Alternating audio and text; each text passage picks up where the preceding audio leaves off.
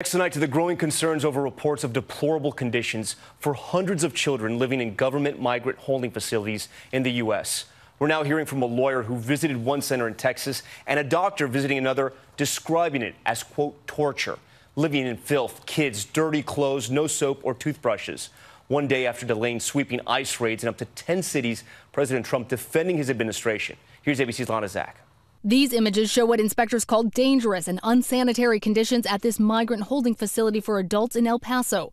But tonight, we're hearing from a doctor and a lawyer who interviewed children at two other Texas Customs and Border Protection centers. They say they witnessed inhumane scenes this felt worse than jail. Dr. Dolly Sevier examined infants and children being held at the Ursula facility in McAllen, Texas, seen in these government handout images last year. Speaking exclusively to ABC News, she describes what she calls akin to torture. Fluorescent lights on 24 7. Many reported no access to basic sanitation and babies drinking from the same unwashed bottles for days. The conditions at these facilities are placing them at increased risk for infection, disease, and death.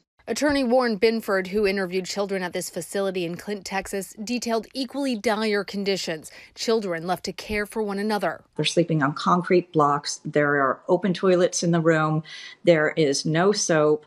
These children are being held in a completely inappropriate facility. Last week, federal judges scolded administration attorneys who argued that the conditions are adequate. I find that inconceivable that the government would say that that is safe and sanitary. Today, the vice president pressed if the Trump administration is doing enough for the children in its custody. Aren't toothbrushes and blankets and medicine, basic conditions for kids, aren't they a part of how the United States of America, the Trump administration, treats children? Well, of course they are, Jake. It's one of the reasons why we continue to call on Congress to give DHS, Customs and Border Protection, additional resources at the border. The president had this to say. We're doing a fantastic job under the circumstances. We asked Customs and Border Protection for a response. They told us that they have limited resources, but that they work to provide the best possible care to everyone in their custody, especially children.